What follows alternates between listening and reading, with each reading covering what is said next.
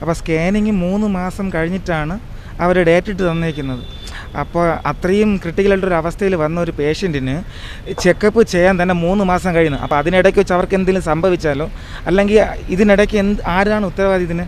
നമസ്കാരം. Focus news T വിയിലേക്ക് സ്വാഗതം. പാവപ്പെട്ടവരെ നീതി നിഷേധിക്കുന്നത് പതിവായി നടക്കുന്ന നമ്മുടെ നാട്ടിൽ മെഡിക്കൽ കോളേജിൽ ഒരു വ്യക്തി വന്നു കഴിഞ്ഞാൽ തീർച്ചയായും നീതി നിഷേധിക്കുന്ന ാണ് ഇപ്പോൾ കണ്ടുകൊണ്ടിരിക്കുന്നത്.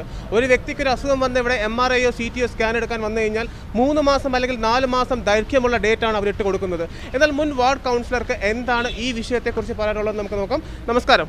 നമസ്കാരം. ഇവിടെ കഴിഞ്ഞ വർഷങ്ങളായി ഞാനിപ്പോൾ രണ്ടായിരത്തി പത്തിൽ കൗൺസിലറായ ആളാണ് ആ സമയം മുതൽ ഈ ഒരു നീതി നിഷേധത്തിനെതിരെ ഒരു നടപടി ഉണ്ടാവണമെന്ന് ആഗ്രഹിച്ച് അതിന് പിന്നാലെ പ്രവർത്തിക്കുന്ന ഒരാളാണ്. പക്ഷേ ഇന്ന് വരെയും പത്ത് വർഷം രണ്ടായിരത്തി ഇരുപത്തൊന്നായിട്ട് പോലും നമുക്കൊരു കൃത്യമായ ഒരു സൊല്യൂഷൻ ആ കാര്യത്തിൽ കിട്ടിയിട്ടില്ല.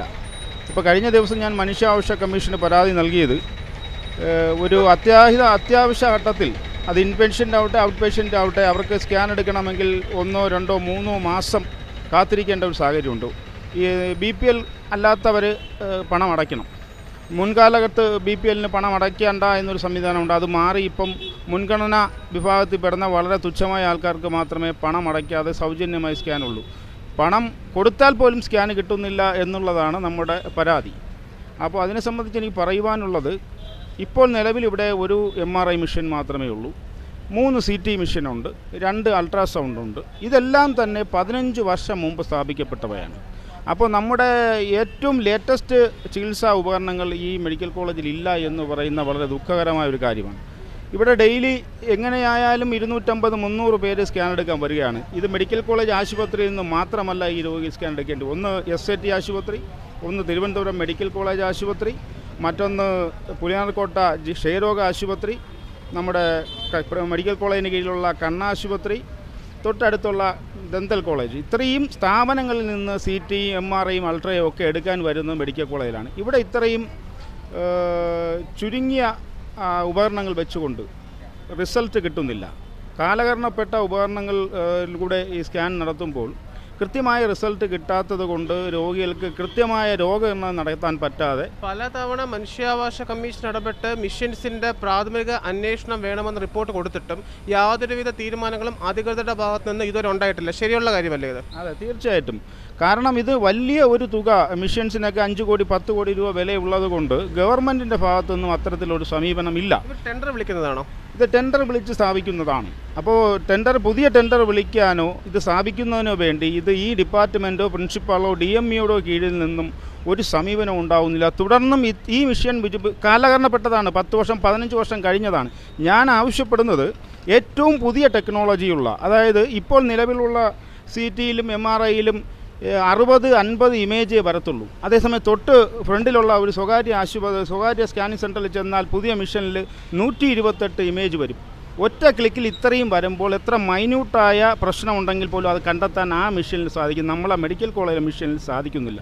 അതുകൊണ്ട് കൃത്യമായ രോഗനിർണയം നടത്തിയാലേ അവർക്ക് കൃത്യമായ ചികിത്സ നൽകാൻ കഴിയും. അപ്പോൾ കൃത്യമായ രോഗനിർണയം നടത്താൻ കഴിയാത്ത ഇത്തരം ഉപകരണങ്ങൾ എടുത്ത് ഇവിടെ നിന്ന് മാറ്റി പുതിയവ സ്ഥാപിക്കണം.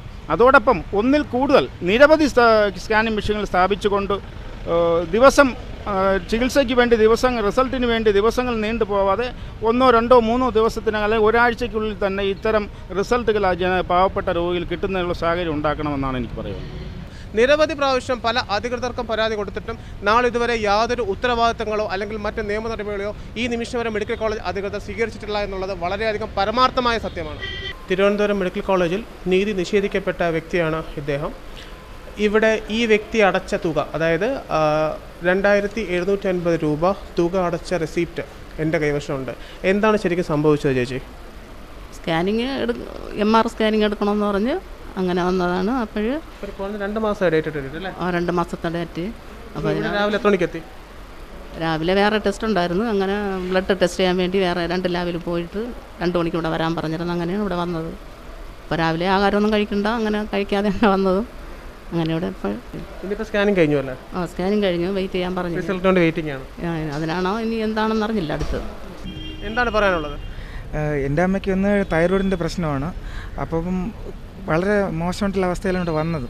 അപ്പോൾ ഇവിടെ വന്ന് ഡോക്ടറെ കാണിച്ചതിന് ശേഷം അവർ സ്കാനിങ് എടുക്കണമെന്ന് പറഞ്ഞായിരുന്നു. എന്നാ നിങ്ങൾ ഡോക്ടറെ കാണിക്കാൻ വന്നത് ഇപ്പോൾ വന്നിട്ട് ഒരു മാസം എന്തായാലും ആയിട്ടുണ്ട്. അപ്പോൾ സ്കാനിങ് മൂന്ന് മാസം കഴിഞ്ഞിട്ടാണ് അവർ ഡേറ്റ് ഇട്ട് തന്നേക്കുന്നത്. അപ്പോൾ അത്രയും ക്രിട്ടിക്കലായിട്ടൊരു അവസ്ഥയിൽ വന്ന ഒരു പേഷ്യന്റിന് ചെക്കപ്പ് ചെയ്യാൻ തന്നെ മൂന്ന് മാസം കഴിയുന്നു. അപ്പോൾ അതിനിടയ്ക്ക് വെച്ച് അവർക്ക് എന്തെങ്കിലും സംഭവിച്ചാലോ? അല്ലെങ്കിൽ ഇതിനിടയ്ക്ക് എന്ത് ആരാണ് ഉത്തരവാദി ഇതിന്? കാരണം രോഗം നിർണയിക്കാൻ വേണ്ടി ഒരു മൂന്ന് മാസം എടുക്കുന്നു. ഇതിനിടയ്ക്ക് മെഡിസിൻ ഒരു മാസം കണ്ടിന്യൂനും കൊടുക്കുന്നു. അപ്പോൾ അവർക്ക് അവരുടെ പ്രശ്നം കണ്ടുപിടിക്കുന്നില്ല ആക്ച്വലി പ്രശ്നം കണ്ടുപിടിക്കാതെ കുറേ മെഡിസിൻ അവർക്ക് അടി അടിച്ചേൽപ്പിക്കുന്നു. ഈ മൂന്ന് മാസം ഒരാളിനിപ്പോൾ ജീവിച്ചിരിക്കുമോ എന്തോന്ന് ആർക്കറിയാം. സ്ഥലം എവിടെയാണ്? എന്റെ സ്ഥലം കോവളമാണ്. കോവളമാണ്. ഇപ്പോൾ വന്നിട്ട് എത്ര നേരമായി ഇന്നിപ്പോൾ രാവിലെ വന്നതാണ് ഒൻപതരയ്ക്ക് ഇവിടെ എത്തിയതാണ്. ഇപ്പോൾ സമയം വന്നിട്ട്? ഇപ്പൊ മണി നാല് മണിയായി. നാല് മണി. അപ്പോൾ ഈ ഒൻപതര മണി തൊട്ട് നാല് മണി വരെ നിങ്ങൾ M R I C T സ്കാനിന്റെ ഫ്രണ്ടിലുണ്ട്. അപ്പോൾ എപ്പോഴാണ് വിളിച്ചത് അമ്മേ? ഇപ്പ- എന്നെ വിളിച്ചത് രണ്ടരക്കാണ് വിളിച്ചത്. രണ്ടരക്കാണ് വിളിച്ചത്. അപ്പോൾ ഇതുവരെ അമ്മ ഇറക്കിയിട്ടില്ല. ഇറക്കിയിട്ടില്ല. ഇത് ഇതിൽ നിന്ന് നമ്മൾ മനസ്സിലാക്കേണ്ട ഒരു കാര്യം പാവപ്പെട്ടൊരു നീതി മാത്രം നിഷേധിക്കുകയല്ല. എന്തെങ്കിലും മരുന്ന് കൊടുത്ത് തോന്നിയ രോഗം നിർണയിക്കുന്ന ഡോക്ടേഴ്സിനെ കാണണമെങ്കിൽ തിരുവനന്തപുരം മെഡിക്കൽ കോളേജിൽ തന്നെ വരണം.